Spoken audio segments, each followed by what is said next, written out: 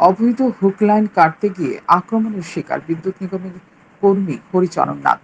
রাজ্য সরকার এবং বিদ্যুৎ দপ্তর সরকারি বিদ্যুৎ সংযোগ সঠিকভাবে ব্যবহার এবং বিল প্রদানের উপর গুরুত্ব আরোপ করলেও কিছু সংখ্যক অবৈধ বিদ্যুৎ সংযোগকারীর কারণে রাজ্য সরকারের পরিকল্পনা ব্যর্থ হয়ে যাচ্ছে। যেসব বিদ্যুৎ দপ্তরের কর্মীরা অবৈধ হুক লাইন কাটতে যাচ্ছে, বরং তারা আক্রমণের শিকার হচ্ছে। ঘটনার বিবরণে জানা যায় যুবরাজনগর বিধানসভা কেন্দ্রের হাফলং সাবস্টেশনের অধীন মধুবন এডিসি ভিলেজের আশি ধুন এলাকায় বিদ্যুতের সমস্যা দেখা দেয়। এ সমস্যার সমাধানের জন্য বিদ্যুৎ দপ্তরের অস্থায়ী কর্মী হরিচরণ নাথ সোমবার মধুবন এডিসি ভিলেজের আশি ধুন এলাকায় যান। সেখানে গিয়ে তারা দেখতে পায়, সেখানে লাইনের সমস্যা রয়েছে। সেখানে এলাকার প্রণয়নাথের বৈধ সংযোগটি কাটা এবং একটি হুক লাইন সংযোগ রয়েছে।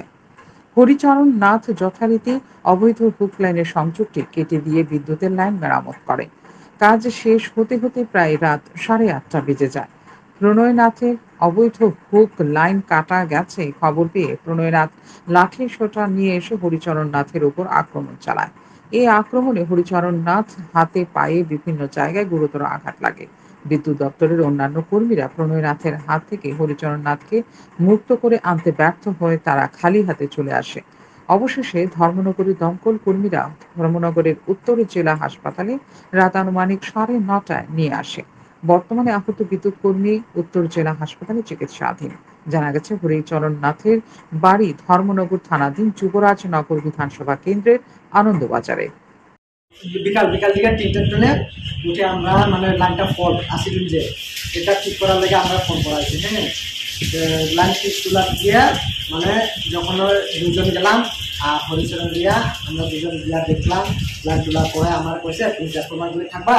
আমার রাখিয়া বেশিকে লাইন দেখা লাইনটা তোলার লাগে কোনো ফল আছে, দেখা লাগে আর গ্রামে প্রতিবেশী লোকও আছে, দুজন, তিনজন, তারা লোকে আছে যান দেখতে গিয়া প্রণয়নাথের বাড়ির সামনে একটা হুক লাগাইল আছে সেই হুকটা খোলার জন্য যেতে গিয়া হরিচরণের পর আক্রমণ করছে।